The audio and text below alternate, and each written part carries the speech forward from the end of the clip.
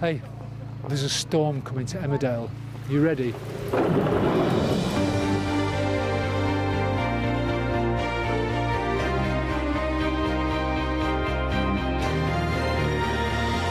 This is the 50th. It is the biggest thing that Emmerdale have done. We're going to have all kinds of stunts and amazing things. It's really exciting. It's very, very ambitious. It's the most ambitious thing I've done on Emma Emmerdale. 31 take 1A marker.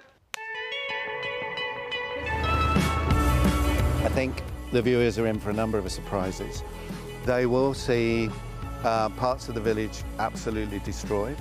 We do go to the hospital on a number of visits. There are a number of people hurt, naturally, by debris flying around the village. There are um, massive accidents at the farm, which again might attract the attention of one or two characters. And there's a massive problem in the village that uh, will also involve two of the other characters.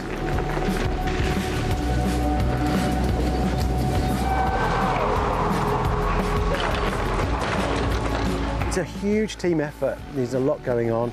Um, it's the devastation behind it you can see with the street and all the dressing. So it's all thrown around, walls coming down, chimneys coming off. We've had a car, the wind catches the car, the car hits the phone box, the phone box goes over. So it's really powerful.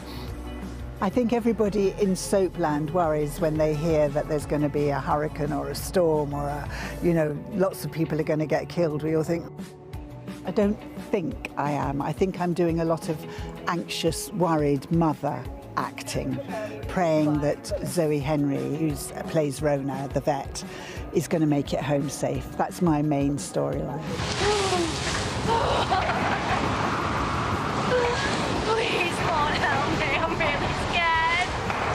Heart of the village will always remain, but it, the, the destruction around it is, is what the future storylines will start building up and replanting trees and, and, and taking it forward. This storm is a game changer for so many characters. It's going to be sensational. An audacious storyline to put in. So, yeah, bring on the 50th. There's a storm a brewing. Now, we've been waiting for this all morning. It is time for our Woolpack pub quiz. Now, we've divided our Emmerdale stars into two teams, given them special names. Team one, Daisy and Chris, are the hot and hotties. Team two, Nicola and Dean, are the Dale's delights. And I have got two very glamorous assistants. Ria, you have got the scores, not on the doors, but kind of, the scores. And Mark, Mark, you're in charge of uh, some incredible prizes, I I am believe. indeed. Do you want to see the first one? Yes, go on then. What is Yeah. that? Oh, it's an Emmerdale It's candle. an Emmerdale candle. That's right. Oh. That's amazing. How, how excited, on a scale of excitement, how excited are you? Right, OK, let's play round one we have called Soap Swappers.